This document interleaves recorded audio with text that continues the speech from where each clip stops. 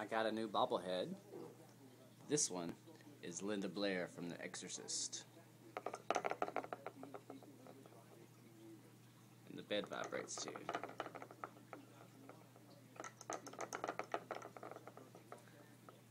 Look, there's crucifix, some vomit. They did a really good job. It looks just like her.